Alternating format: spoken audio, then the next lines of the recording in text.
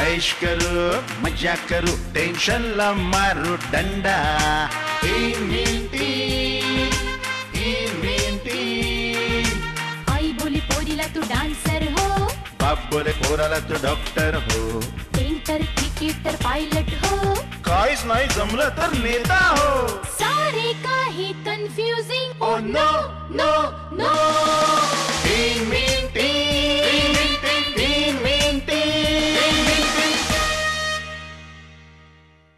नमस्कार. मी कुणाल लिमये इन मिन टीन या सह्याद्री वाहिनीच्या कार्यक्रमात आपलं स्वागत करतो.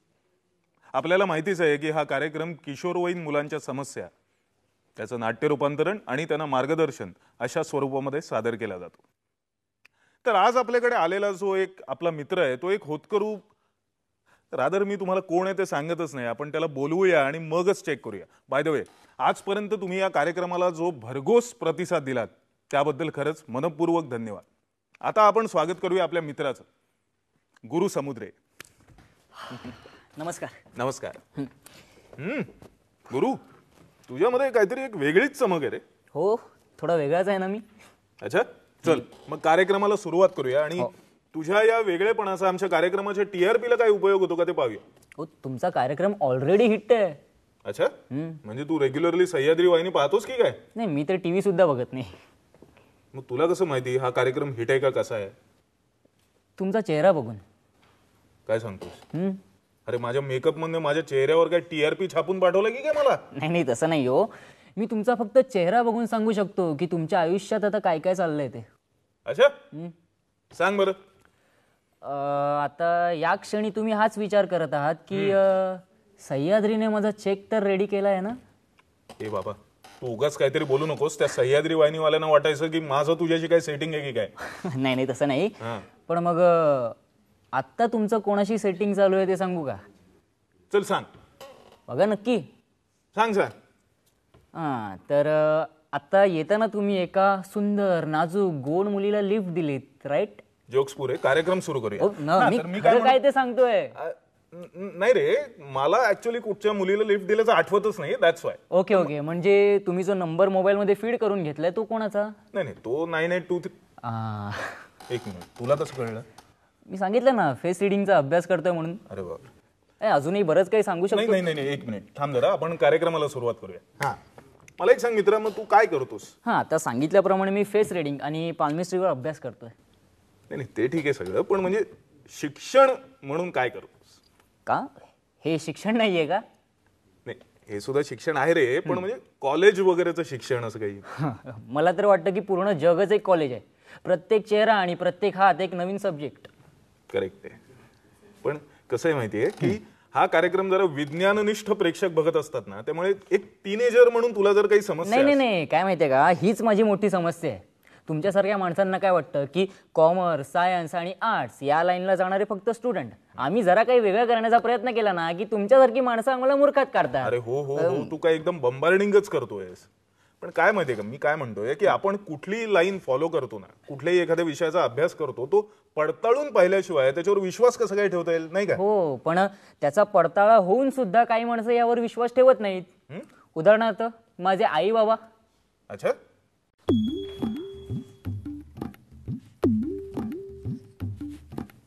द्या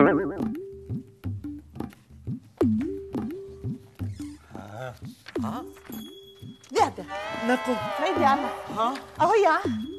या ना. अहो या या. बसा. बसू. हो. वा. काय आज अगदी ब- नटून थटून माझ्या स्वागतासाठी तयार की अजून कोणी यायचं होतं? कुणी नाही. तुम्हीच. काय? अगं पण माझं स्वागत असं जंगी म्हणजे म, रोज असं स्वागत होत नाही ना माझं? रोज एक तारीख पण नसते ना? अच्छा आज पहिली तारीख है. द्या द्या. काय? अहो एक तारखेला काय देता तुम्ही? बिल. ती मी देते. तुम्ही पगार द्या. डोळे बंद कर बघू. अन, न. हे घे. द्या वेळी खुश. शी, शी, शी. हे, असं काय करतेस? शी, शी, शी, शी, शी, शी. अहो एक तारखेला वेडी देऊन बायको कशी खुश होईल? मग? एक तारखेला पगार दिल्यावर खुश होणार. पगार? हे आ- ब- आपला ब- काय? प- पगार. पगार. प- पगार पगार काय करतेस ग? का? अगं आल्यासारखं म, नवऱ्याला चहा कॉफी काही विचारलंस तू? ते नंतर. आधी पगार द्या. ते नंतर. आधी मी जरा बुटबीट काढतो कपडे बिडे बदलतो. ते नंतर आधी पगार द्या. प- पगार?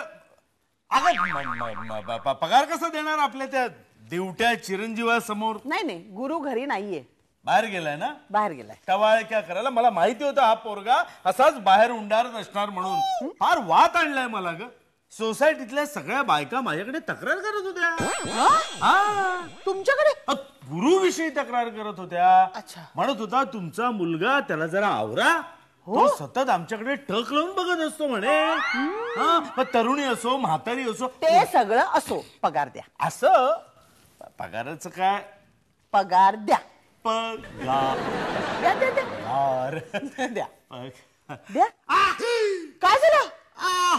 अहो काय झालं? आ! काय टोचलं? ब- टोचलं काय नाही ग पाकिट. पाकिट टोचलं? अगं, टोचलं नाही ग. माझं पाकिट मारलं. मारलं? हो. कुठे मारलं? पाकिट चोरीला गेलं. चो- चोरीला गेलं म्हणजे? हा, चोर चोर चोर. अहो पण कुठे चोरीला गेलं? ट्रेन मध्ये अहो ट्रेन मध्ये चोरीला गेलं तर तुम्ही इथे चोर चोर करून काय करताय? आवाज पोहोचेल ना तिथपर्यंत म्हणून म्हणालो होतो मी. आता ट्रेन मध्ये पाकिट चोरीला गेलं ते मला कसं कळणार? तुम्ही लक्ष द्यायचं होतं ना? लक्ष द्यायचं होतं काय म्हणतेस? ट्रेन मध्ये जाऊन बघ गर्दी किती असते? उभं राहायला सुद्धा जागा मिळत नाही. लोमकळ द्यावं लागतं. येते ना. तुम्ही पाकिट पाठीमागे कशाला ठेवलं चोराला फसवायला. म्हटलं आपण चोराला फसवूया. ते पाकिट असं मागे ठेवलं ना की चोराला वाटतं हे पाकिट रिकाम आहे म्हणून मागे ठेवलं. आणि तू फसेल त्यांनीच मला फसवलं. काय काय काय काय काय चाललंय काय? फसवा फसवी. काय चाललंय काय? अरे बघ ना यांचं पाकिट मारलं कोणीतरी. अरे सहा महिन्यातली ही दुसरी वेळ आहे. आणि तेही नेमकं पगाराच्याच दिवशी. चल, चल, चल तू चल. हा म्हणजे तुम्ही आईला शेंडी लावायला मोकळे. म्हणजे अगं आई ह्यांचं काही पाकिट बिकीट चोरीला गेलेलं नाहीये. मग? ते त्यांच्या ऑफिसमध्ये नाही का जुगार खेळतात. ते आताच अर्धे पैसे घालून आले ते काय बोलतोस रे? म- म- बा- बापाला काय म- जुगारा समजतो? हा. एक काम करूया. आपण पोलिसात तक्रार नोंदवूया. आ, पोलिसात तक्रार? कशाला? म्हणजे? त्यांनी काय होणार आहे?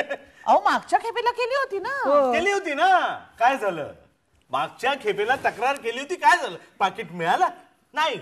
उलट पोलीस स्टेशनच्या एरझाऱ्या घालण्यामध्ये माझा अख्खा पगार खर्च झाला असेल. हो ना? हा. तरी पण या खेपेला करायची. अगं पण त्यांनी काय होणार आहे? तेच म्हणतोय. त्यांनी काय होणार आहे? कारण आपल्याला आधीच माहितीये ना? यांनी अर्धा पगार जुगारात घालवलाय. आणि अर्धा पगार. ए, ए, एक- एक मिनिट. कोणत्या गाढवाने सांगितलं रे तुला? तुमच्या चेहऱ्याने सांगितलंय. म्हणजे? म्हणजे?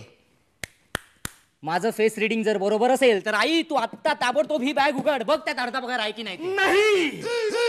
असं होऊ देणार नाही मी. अरे काय वेळ लागलाय काय तुला? मी असं कशाला करेन? इडियट कशाला करेन? हा. कशाला करेन? कशाला करेन? ते बघा. दिसलं? दिसलं? तुम्ही तुमच्या ऑफिस मधल्या बॉसच्या सेक्रेटरीला डिनरला घेऊन जाताय काय? नाही नाही तू सांभाळ. अरे तुला आई बापाचा घटस्फोट घडून आणायचा आहे काय रे? एक हा? मिनिट. लाज वाटत नाही. एक मिनिट काय झालं? कोण आहे ही किशोरी डार्लिंग? किशोरी डार्लिंग? आ! अगं माझ्या ऑफिस मधला जो मित्र आहे ना त्याची मुलगी आहे. छोटीशी लाडकी छोटीशी ठीक आहे. हॅलो लाडके. कोण बोलताय? बाळा. ओ किशोरी फ्रॉम ऑफिस हा आहेत हा. एक मिनिट अरे ही तर तीच आहे. हो हो हो हो काय? उद्याचा डिनरचा प्रोग्राम कॅन्सल हा ती फाईल ना मी मी येतो ना मी येतो ऑफिसमध्ये तेव्हा बघतो काय ते. बॉसने मला घरी बोलवलंय अर्जंट मीटिंगसाठी अर्थातच? म्हणजे मलाही त्या गोष्टीची परवा आहे ना?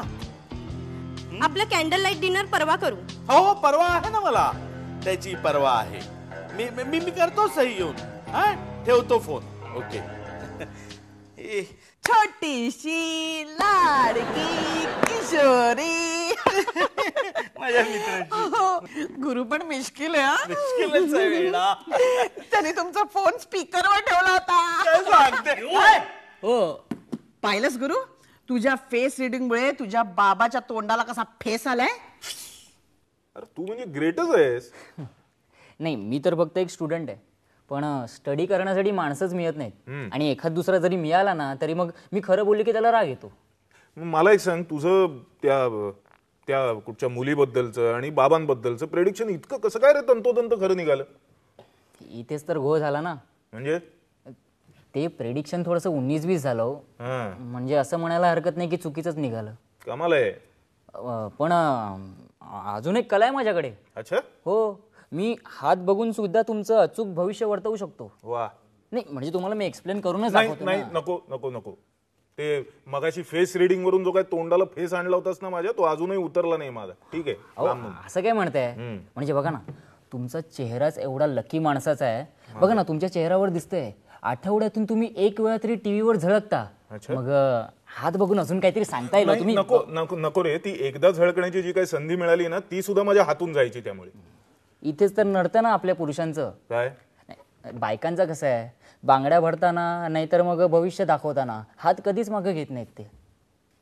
गुड इयर नाईस ऑब्झर्वेशन हां आणि याच ऑब्झर्वेशनमुळे एक घोळ झाला. नाही म्हणजे बाबांचे बॉस आणि त्यांची मिसेस आमच्याकडे डिनरला आले होते.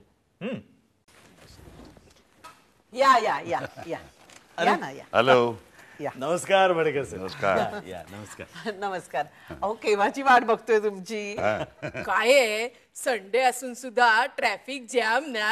जामच हो ना. अहो येताना वाटेत आमचा ड्रायव्हरमध्ये मध्ये डुलक्या काढत होता. आता बोला.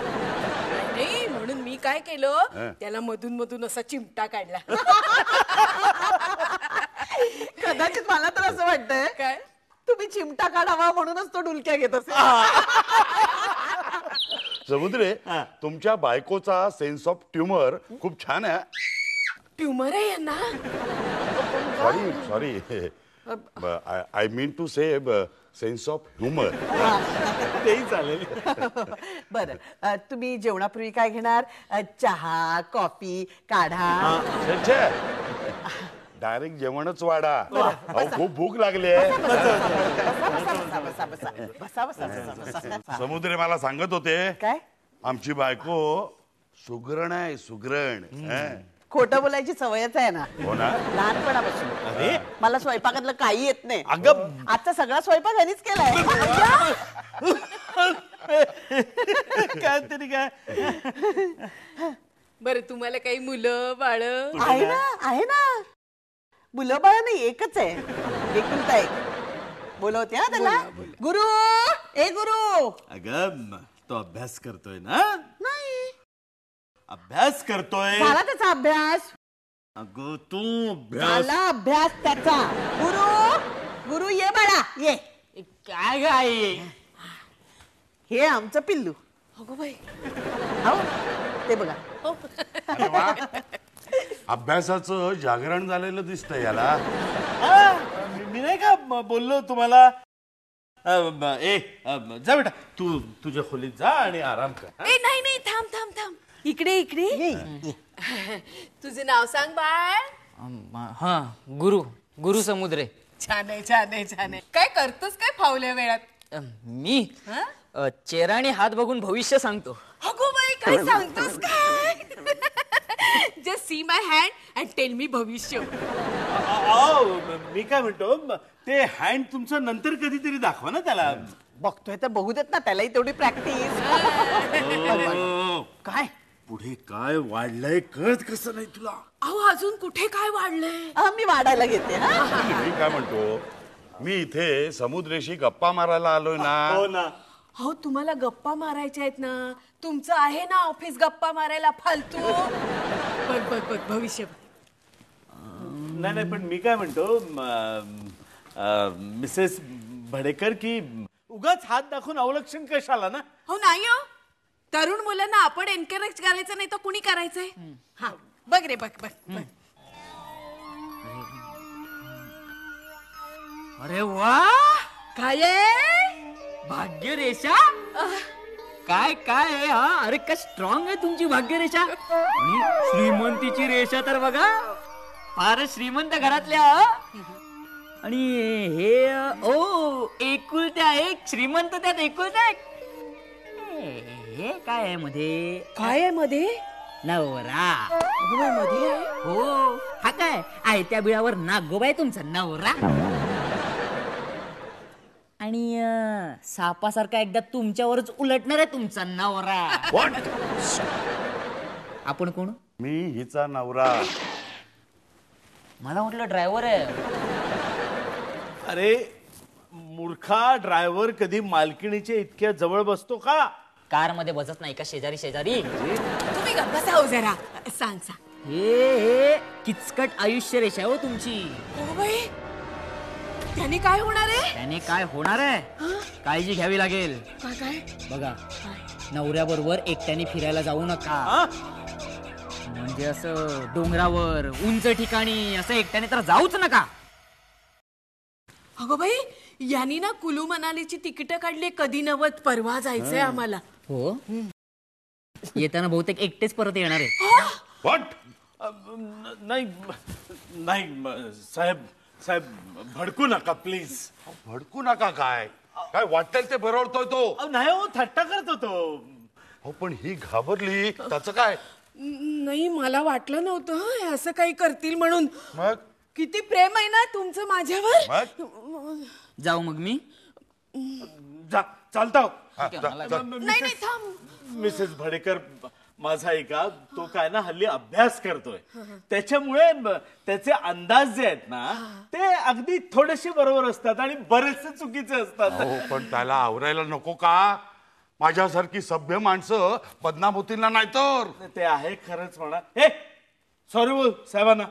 कशाबद्दल? कशाबद्दल म्हणजे रॉंग प्रेडिक्शनबद्दल सॉरी म्हण. ओ बाबा काही रॉंग केलेलं नाही या खरं काय ते सांगितलंय मी अगदी. You mean to say me माझ्या बायकोचा खून करणार आहे? कशासाठी? अरे कशासाठी करेन मी हे सगळं? असं बघा. सेक्रेटरीसाठी ह्यांचं आणि त्यांचं अफेअर आहे. माझं आणि माझ्या सेक्रेटरीचं अफेअर आहे? हो.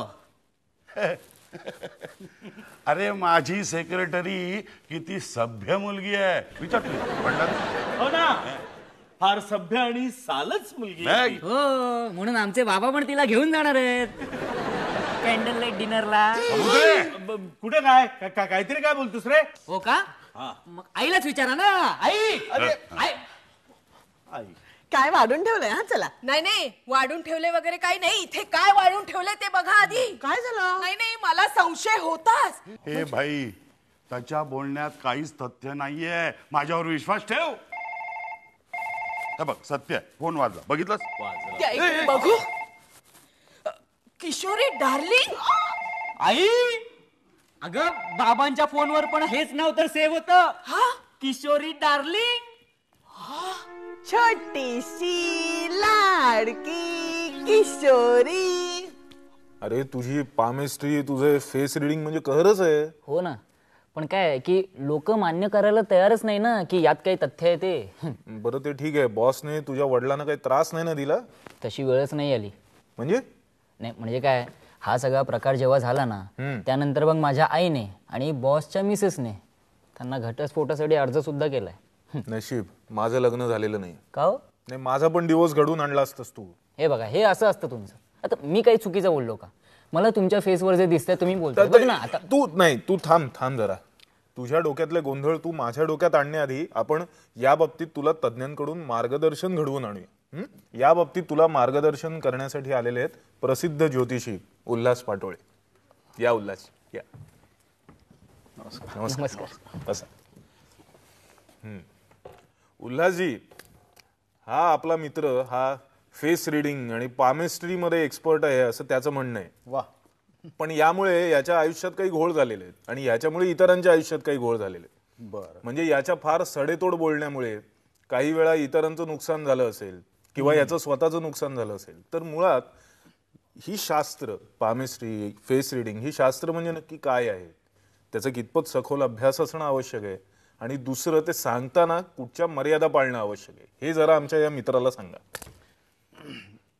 ऐकून बरं वाटलं की तू हे शिकलेलं आहेस फेस रिडिंग किंवा हस्तसामुद्री किंवा पामिस्ट्री त्यामुळे तुझ्याकडे बघूनच वाटतं की तू एखादा ज्योतिषी असावास तसा तुझा हे जे आउटफिट वगैरे आहे याकडे बघून असं वाटतं की एखादा ज्योतिषी आहे वगैरे. पण हे शास्त्र जरी असलं तरी याचा कुठे उपयोग करावा किती उपयोग करावा किती गोष्टी लोकांना सांग सांगाव्यात कशा सांगाव्यात याबद्दल पण काही मर्यादा आहेत. आणि त्या आपण मात्र पाळायला हव्यात. हे शास्त्र जेव्हा आपण उपयोगात आणतो त्यापूर्वी आपला स्वतःचा या बाबतीत खूप मोठा अनुभव येणं हे फार गरजेचं असतं. आपल्याला या गोष्टीचं नॉलेज असायला लागतं.